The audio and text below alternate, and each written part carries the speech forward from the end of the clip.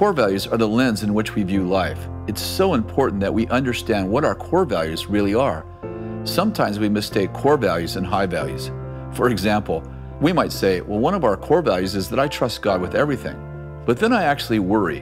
What I learn when I worry is that my high value is that I trust God, but my actual core value is that God's not going to come through. It's so important that we have an honest assessment of our core values so that we actually see God clearly and see ourselves for who we really are.